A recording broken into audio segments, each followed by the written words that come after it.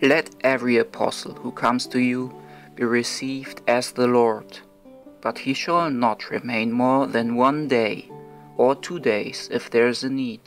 But if he remains three days, he is a false prophet. If he asks for money, he is a false prophet.